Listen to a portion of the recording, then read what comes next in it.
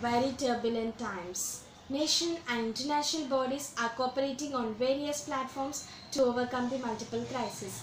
Today, man-made forces like global warming, greenhouse effect, pollution are a threat to the planet. Better governance systems and our demographic dividend are key ingredients in developing India in a sustainable manner which can also be inspiring to the rest of the world. Few individuals, very few individuals are possessing knowledge and wisdom to enlighten the society and inspire the future generations. One such person is our APJ Abdul Kalam sir. I'm pleasurely introducing myself. I'm Gadarla Akanksha.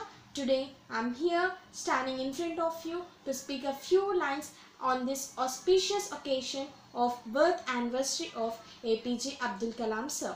APJ Abdul Kalam sir was an aerospace scientist, politician who served as 11th president from 2002 to 2007. He was born on 15th October 1931 in Rameshwaram. His birthday is recognized as World Students' Day. It means it's our day, Young Lads' Day. He kept the future in our hands. Coming to Abdul Kalam sir's life, his ancestors had been wealthy leaders, but his family had lost most of his fortune. Their businesses are failed.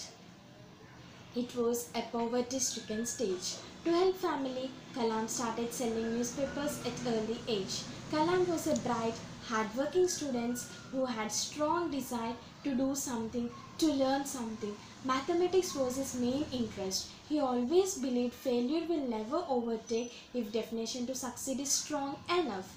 Abdul Kalam made significant contributions to India's Pokhran 2 nuclear tests. He also served as project director of India's first satellite launch vehicle at ISRO.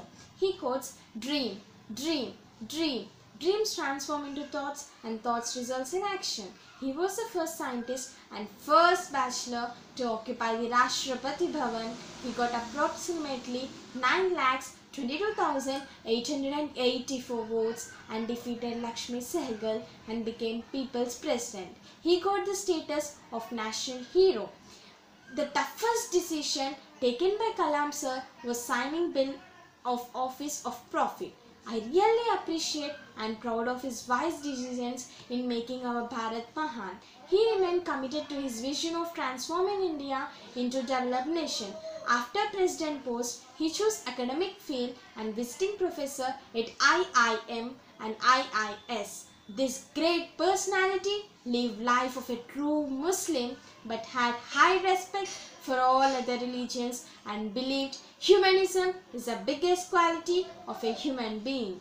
He would perform namaz every day but also read Bhagavad Gita. Abdul Kalam played a major role in conducting Pokhran 2, a series of five nuclear bomb test explosions in May 1998. With the success of these tests, he got status of national hero and then Prime Minister Atal Bihari Vajpayee declared our country India a full-fledged nuclear state. He was titled as Missile Man of India. 1981 Padma Bhushan, 1990 Padma Vibhushan, 1994 1995 honorary person by National Academy of Medical Sciences, 1997 Bharat Ratna, Indira Gandhi Award, 1998 Veer Savarkar Award, 2000 Ramanujan Award, 2007 King Charles II Medal and Doctorate of Science from Wolverhampton University, 2008 Hoover Medal and Doctor of Engineering by Nanyang University, 2009 International Von Karman Wings Award Honorary Doctorate by Oakland University 2010 Doctorate of Engineering by Waterloo University 2011 IEEE Honorary Membership 2012 Doctorate of Laws by Simon Fraser University 2013 Von Braun Award 2014 Doctorate of Science by Edinburgh University UK he was a recipient of honorary doctorates from 40 universities. He won the millions of hearts and on 30 July